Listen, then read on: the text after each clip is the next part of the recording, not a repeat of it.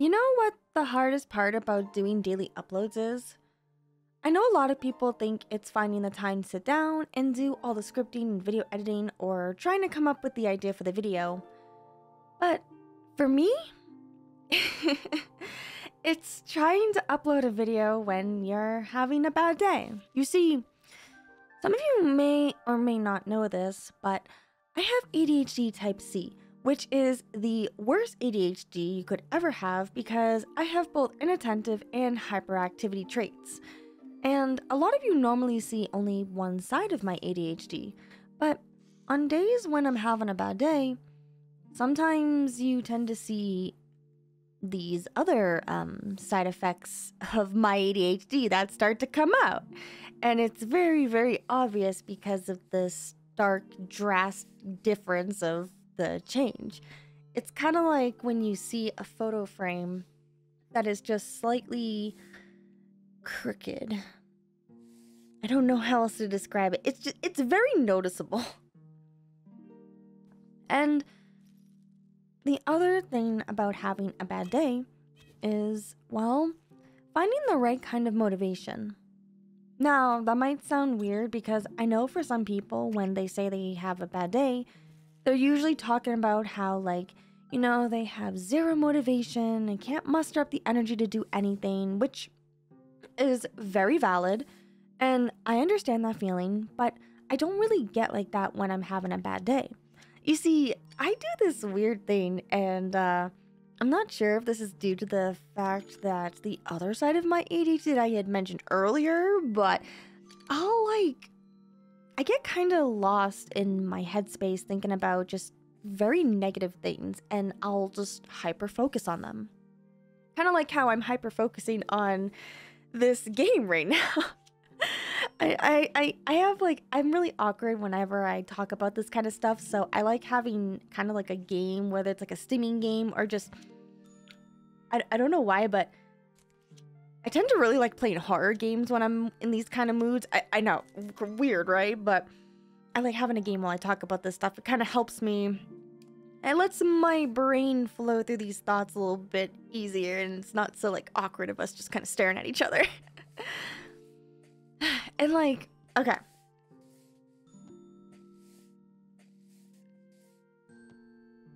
I lost my train of thought. I was too sorry too busy focusing on this. Okay, I'm sorry. I'm sorry. but like I said, I'll get lost into my headspace thinking about these very negative things. And when I'm hyper focusing on them, I just, I get like these little sporadic, like mood swings, like these little episodes, so to say. And what I hate about these little episodes is that once I start to get into a certain mindset, it's really difficult for me to climb out of. I describe it to neurotypicals in the most boring and scientific way because a lot of neurotypicals don't understand what it is I'm talking about, which is emotional dysregulation and executive dysfunction to kind of put it into context a bit better. Basically, my brain don't work and it does very weird things and mean things to itself instead of, you know, healthy, normal things. Now, for anyone who's neurodivergent, this is how my brain actually works. Imagine you're walking on this circular staircase that just never ends, kind of like in Kingdom Hearts at the like the beginning cutscenes. But instead of you just walking, you end up falling and just tumbling down, constantly just going down and down and down. That's how my brain works when I'm having a bad day. Because once I start hyper focusing on something bad or negative, it can very quickly lead to this just bad, horrible spiraling. And it's really hard to get out of this mindset.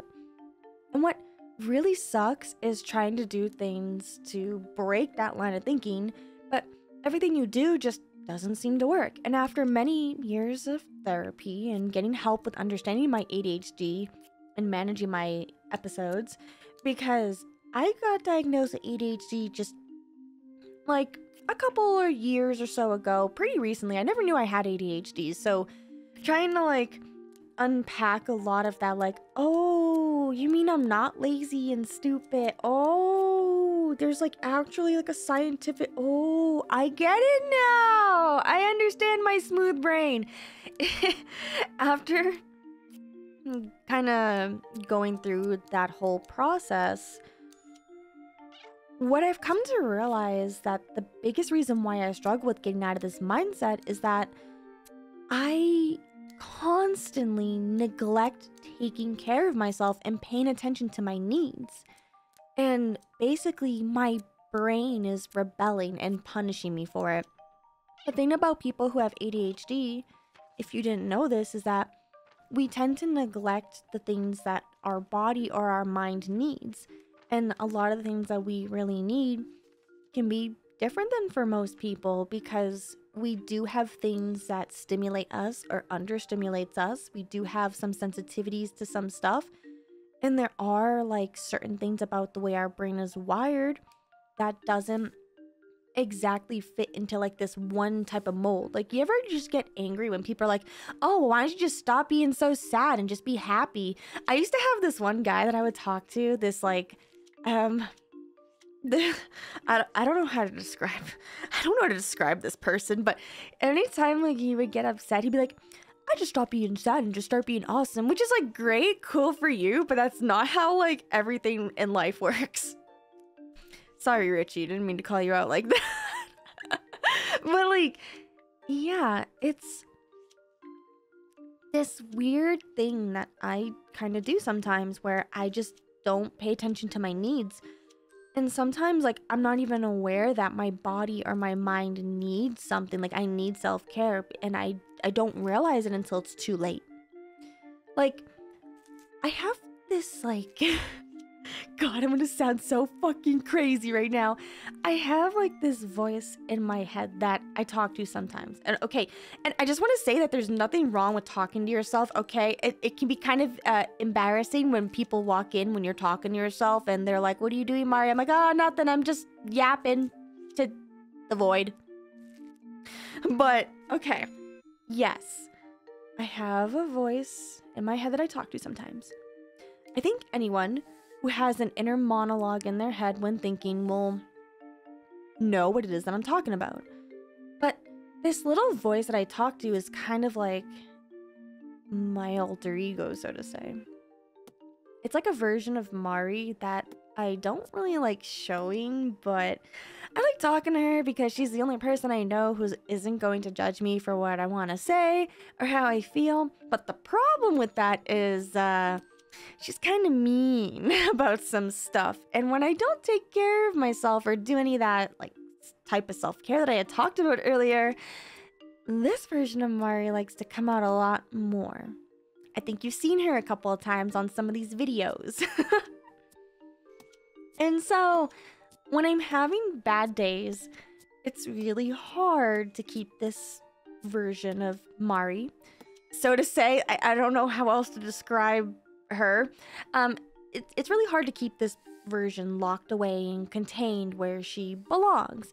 And I can feel like a part of my brain getting all clouded and foggy. This is like what they call brain fog for some people who might be neurodivergent out there. And when it happens, like, do you remember how I mentioned earlier about the spiraling staircase? Well, it kind of feels like the stairs get changed into this vortex and I get trapped in this like whirlwind of negativity. And the problem with these vortexes is that I start to self sabotage myself more. And it really does feel like everything is bad and the whole world is ending. And the most embarrassing and like crazy thing about all that is usually what starts these bad days is something very seemingly insignificant that had happened in that day. But here's the thing about that to any neurotypicals out there watching this. That one insignificant thing that caused me to have a bad day isn't just an isolated instance. What actually happened was many small, insignificant things had happened to me over the course of several days or even a week. And unlike everyone else who are able to just let these situations go and just forget about it, you know, stop being sad and just being awesome, my brain doesn't like to do that. Remember that other Mari that I mentioned? Yeah, um she has a really great memory, and sometimes she likes to remind me of everything that had happened in a single week by showing me a laundry list of those insignificant things. And when you start to think about everything all together, that stress can add up. And so, going back to that one seemingly insignificant thing that caused this entire bad day to officially happen because I have had people in the past when I talk to them about this, they're like, why do you let like these this one thing get to you? Like why is it such a big deal? Well, it's because it ended up being like the final straw that ended up causing like all that alchemation of just very minor things to just build up. And this is what I meant by like me lacking in self-care and not just taking care of myself better and paying attention to my needs. Part of self care is being able to voice something that is bothering you, whether that be to a friend, a family member, a therapist, or even writing in a journal, or maybe drawing, or just something. Something to kind of like let out that negative energy. Of course, you don't want to like put that negative energy onto somebody else. That's not fair to them. But you know how like you have a heart to heart conversation with a friend they're in the right mental headspace to like listen to that and to help you and some some people they need to just vocalize what it is that is bothering them other people like me like to just kind of draw or rewrite or sometimes you know i make videos like this where i just kind of talk about stuff that's on my mind and sadly i don't really have a lot of like stuff like that besides journaling and like what i had said and I realized that um I hadn't journaled in almost a month now, and I think that in itself added on to my stress because a lot of these things, when I look at them individually, they, they really aren't that big of a deal, but they were a big deal to me, at least during that time when those things had happened. And what might not seem so significant to you could be very significant to somebody else. You don't know because you're not in their headspace. You don't know what it is that's going on in their mind. And what I should have done was journal. I should have like journaled it down, released those negative thoughts so that way the other Mari doesn't come lurking out of places she shouldn't be. But I didn't, and I think that ended up being why I just I just had a bad day today. Today sucked. And even though in the grand scheme of things it really wasn't that bad, it was just a shitty day. It just it really got to me. It got to me so bad that like I had a very difficult time climbing out of that and I almost didn't upload a video because of it. I think if you're someone like me who also struggles with having bad days, then I really recommend reaching out to your friends or at the very least writing it down. Or i have this little like audio recorder i keep with me. It's i got it's like a sony it's, it's a very cheap like sony audio recorder. And i keep this with me all the time because sometimes um whenever i just have like a thought whether it's like a fun video idea or I'm just really like peeved off by like a customer or something at the boba shop. Like I'll take it and I'll just record whatever like thing I want to, and I'll just like yeah yeah yeah yeah yeah yeah yeah and like whatever, and and done and be done with it. If I want to listen back to it, then okay. If it was something that I was just like I got my frustrations out, I'll just delete it after because sometimes just talking it out can really help. Um,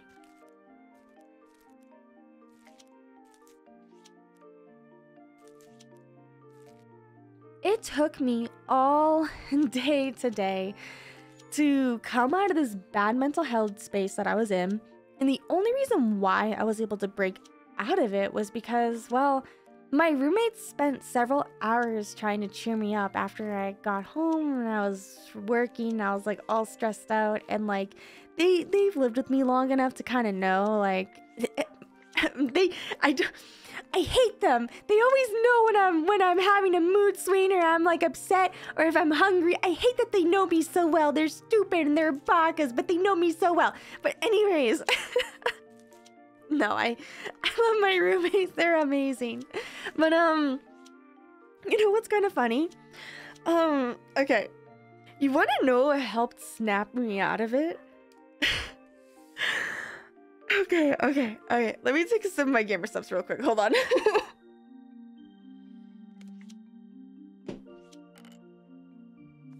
okay, so what helped snapped me out of it was that one of them told me I was being a bitch. Okay, wait, that sounds really bad out of context. Okay, okay. I Kind of was being a bitch, but but that doesn't they didn't actually mean to say that. What they had meant to say was something else, but that had came out instead and like the way they had delivered calling me a bitch was in such a comedic way and it was in no way shape or form meant to be like an insult. Like they had like pause and they were like they were like mari you're being such a a bitch. Just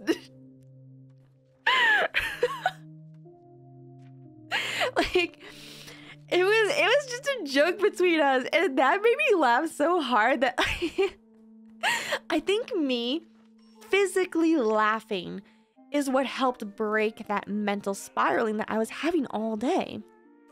But honestly, I I didn't Look, I didn't think I was going to be able to upload anything today. I was really struggling getting myself to sit down and record, even though I have so many video scripts and I finally have editors that I really like working with and they're just waiting for me to send over my recordings and I and I just couldn't. I literally just I, I couldn't. It has been like just 2 days I was just being a sad girl, just a sad little little sad girl and I had just felt so bad that I just wanted to like self-sabotage my daily uploads because fuck that Mari, you know, she sucks, you know, right? But yeah, me physically laughing made me feel so much better because, as crazy as it might seem, I actually don't laugh a lot. I don't. And if you can make me laugh, then that means you're actually making me happy because I am like the happiest when I'm laughing. And part of that self care I mentioned earlier is making sure you're doing things that make you happy and not holding on to these negative emotions. And because I'm feeling better, I thought, you know, instead of uploading the video I originally wanted to upload today, I should upload that tomorrow. And then instead, today, I should make a video vlogging and talking about my experience. Because, you know, I've thought about this. Who, like, maybe maybe me talking about this could bring some peace of mind for anyone else who might be having a bad day. And if you like this kind of content where I just kind of casually play like a game and just kind of like just talk about stuff that's on my mind, it doesn't have to necessarily be VTubing related per se, but it is kind of like related because well, I am a VTuber and like, you know, you always get to see one side of Mari uh, for the most part.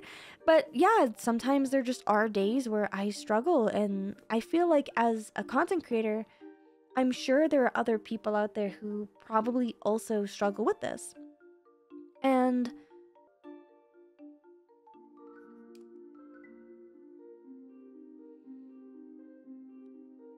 I hope me talking about this could bring some peace of mind for anyone else who's having a bad day because I know what it feels like to have a bad day. I I really do.